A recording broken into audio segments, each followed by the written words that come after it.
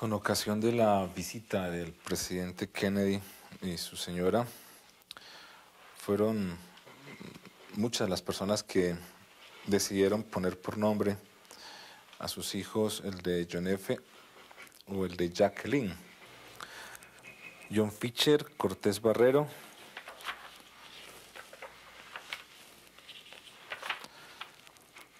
John Fisher Torres,